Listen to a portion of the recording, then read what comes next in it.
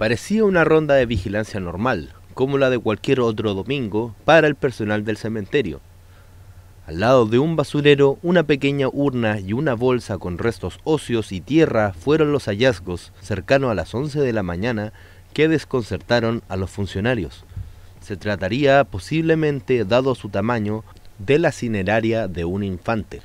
El tema se ha tratado con suma discreción, desde la municipalidad, quien asumió la vocería oficial fue la alcaldesa subrogante Claudia Casas. Eh, personal del cementerio que se eh, encontraba realizando las rondas habituales de vigilancia encontró una urna, por lo que se adoptaron todos los protocolos que eh, tienen este, en estos casos, llamando a la PDI para realizar la denuncia, quien se personó en el lugar y determinó que concurriera el servicio médico legal.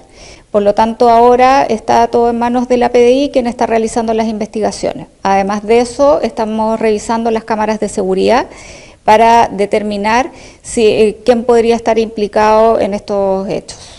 Sin embargo, hay incongruencias en la cuña de la alcaldesa subrogante, pues se omiten el hallazgo de los restos óseos, además de ser equívoco el dato de que la investigación sería por parte de la Policía de Investigaciones.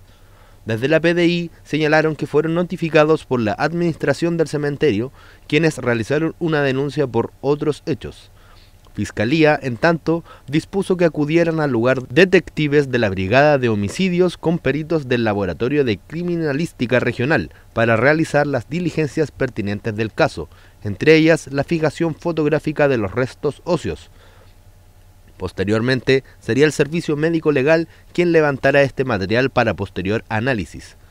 Por su parte, el Servicio Médico Legal confirmó que el Ministerio Público ordenó la investigación a ellos para determinar los hechos asociados a este hallazgo. Los restos encontrados serán sometidos a un análisis antropológico, con el fin de determinar si son o no de origen humano.